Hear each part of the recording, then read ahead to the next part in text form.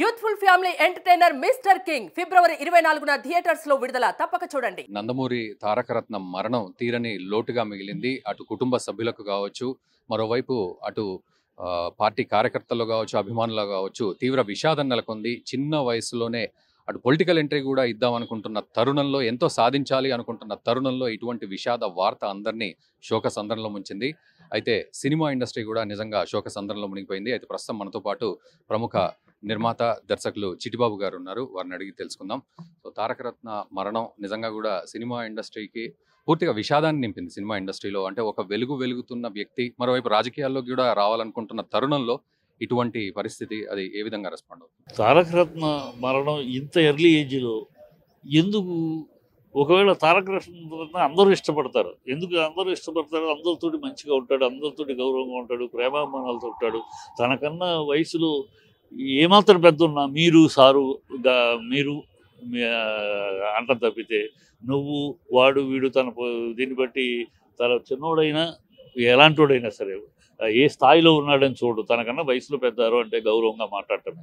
అలాంటి ఒక మంచి పిల్లాడు అంతటి సంస్కారం ఉన్న పిల్లాడుని ఇంత తొందరగా భగవంతుడు ఎందుకు అందరూ ఇష్టపడుతున్నారు భగవంతుడు కూడా ఇష్టపడ్డాడేమో తన్నే తన దగ్గరికి తెచ్చుకున్నాడేమో కానీ చాలా బాధాకరం.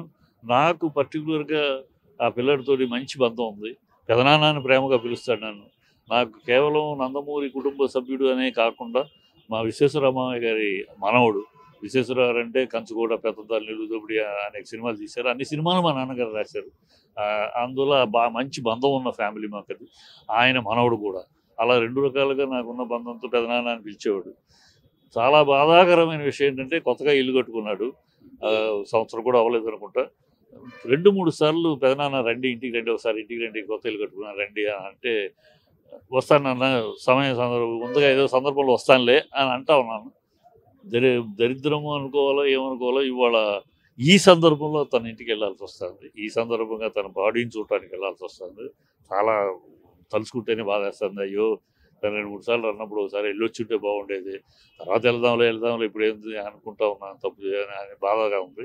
ప్లస్ ఇవాళ ఆ పిల్లాడు తొమ్మిది సినిమాలు ఒకేసారి ఒక హీరోగా ముహూర్తం అనేది ఏ ఈ చరిత్రలో ఏ హీరోకి జరగల? అంతటి ఘనంగా ప్రారంభమైన కెరియరు పాపం అనుకున్న స్థాయిలో వెళ్ళలేదు వెళ్ళలేదు పోరాడాడు ఇరవై ఒకటి ఇరవై రెండు సినిమాల దాకా చేశాడు. సరే ఓకే ఇక మనకు గాడ్స్ డెసిషన్ ఇది కాదు. దేవుడు మనకి ఇది ఇవ్వలేదు అనుకున్నాడు. రెండో ఇన్నింగ్స్ రాజకీయాల్లోకి వెళదాం రాజకీయాలు చేద్దాం. అది కూడా ఎందుకు రాజకీయాలు అంటే ఏదో ఇక్కడ ఇక్కడ లేదు కనుక అక్కడ కాదు. మన తాత రక్తం దారపోసి ఏర్పాటు చేసిన పార్టీ ఆ పార్టీ వైభవాన్ని మళ్ళీ నిలబెట్టాలి. గత వైభవాన్ని తీసుకురావాలి. గత వైభవాన్ని తీసుకురావాలంటే మనవలు అందరం కూడా మనం మన ప్రాణం వంటి పనిచేయాలి మళ్ళీ ఆ గత వైభవానికి తాత నీరు తీసుకొచ్చి ఏర్పాటు కష్టపడి రాత్రి అనక ఎండనక వాననక కష్టపడి నిర్మించిన పార్టీ తాత. తాత చేతులు అనేది మనవలో మనం అందరం కష్టపడి మళ్ళీ ఆ పార్టీ అన్న ఉద్దేశంతో రాజకీయాల్లోకి వచ్చి రావాలని ఉన్నాడు. గతంలో రాజకీయాల్లో ఆర్గనైజేషన్ అయ్యి ఉండేవాడు. ఇవాళ పబ్లిక్లోకి వచ్చి తన ఎమ్మెల్యేగా నిలబడాలి ఎం- ఎంపీకి వెళ్ళాలి ఇట్లా తన ఫ్రెండ్స్ తోటి కొంత కొంతమంది కలిపి కలిపి రావాలి అట్లా ఒక ప్లాన్ వేసుకుని సెకండింగ్ స్టార్ట్ చేశాడు. ఆ స్టార్టింగ్లోనే భగవంతుడు మరి ఎందుకు తీసుకెళ్ళిపోయాడు? అందరూ ఇష్టపడే నేను అందరూ ఇష్టపడుతున్నాను నేను కూడా నేను ఇష్టపడుతున్నాను నువ్వు నా దగ్గరికి దాన్ని తీసుకెళ్ళాడు ఏమో కానీ చాలా బాధాకరం. ఇప్పుడు ఆ పిల్లని ఆ భార్య బిడ్డ వాళ్ళని ఎవరు ఓదారుస్తారు? ఆ పిల్ల ఏడుస్తూ ఉంటే గుండె తవి దవించుకుపోతుంది ఎవరు ఆ కన్నీటిని ఆపలేరు? ఎవరు ఆ బాధను తీర్చలేరు? మనం సానుభూతి చెప్ప చూపగలమే కానీ ఆ గుండె బరువుని ఎవరు తీర్చలేరు? భగవంతుడే ఆ అమ్మాయికి శక్తి సామర్థ్యాలు ఇచ్చి మళ్ళీ కొంచెం రీజనరేట్ చేసేలా భగవంతుడే ఆ అమ్మాయికి అండగా ఉండాలని కోరుకుంటున్నాను బట్ ఎనివే చాలా బాధాకరమైన ఎంత ఎంగేజ్లో వెళ్ళిపోవడం అనేది పుట్టినవాళ్ళు గిట్టక మానరు. అది ఎప్పుడో ఒకసారి. కానీ ఇంత ఎంగేజ్లో ఇంత మంచి పిల్లాడు అందరు ఒకటే ఒకటి తన జీవితంలో ఎప్పుడు కాంట్రవర్సీ లేదు. ఒకేసారి పెళ్ళి విషయంలో పెద్దలు కాదన్నా వెళ్ళిపోయి విడిపోయి చేసుకున్నాడు. అది కొన్నాళ్ళు కొంచెం డిస్టర్బెన్స్ ఉంటుంది బట్ బాలయ్య బాబు పెద్దరికంగా వాళ్ళందరినీ మళ్ళీ ఫ్యామిలీలో కలిపి కలిపేశాడు. కలిపి శుభంగా అందరూ మళ్ళీ కలిసి ఉంటున్నారు. ఈ టైంలో అంతా అయిపోయి ఆ చిన్న సమస్య కూడా సమస్య పోయి అంతా కలిసి ఉన్న తర్వాత ఇది జరగటం అనేది చాలా విషాదకరం. మీరు అన్నట్టు బాలయ్య బాబు కూడా దగ్గరుండి మరీ చూసుకోవడం జరిగింది. అంటే బెంగళూరు ఆసుపత్రిలో. సో మృత్యుంజయ మంత్రం చెప్పి మరి ఆ తర్వాత కూడా ఎంతో ప్రయత్నం చేసి వైద్యుల ప్రయత్నం. సో బాలయ్యబాబు బాలయ్య బాబు యొక్క ప్రోత్సాహం కానీ వారి ప్రేమ కానీ తన మీద ఏ విధంగా ఉండింది?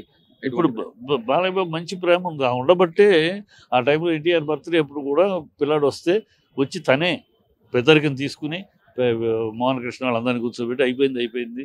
బంగారం లాంటి పిల్లలు ఉన్నారు. ఆ పిల్ల ముద్దుగా ఉన్న మన అయిపోయింది అయిపోయింది. ఇప్పుడు కలిపి కలుపుకోవాలి.